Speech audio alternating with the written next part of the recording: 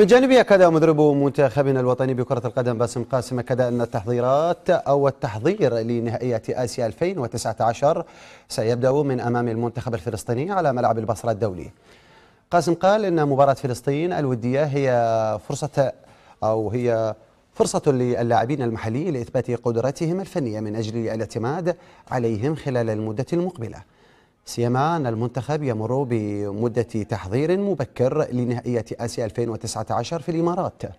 وأضاف أن غياب اللاعبين المحترفين لا يؤثر في شكل ونهج المنتخب الوطني بشكل كبير في المباراة أمام المنتخب الفلسطيني.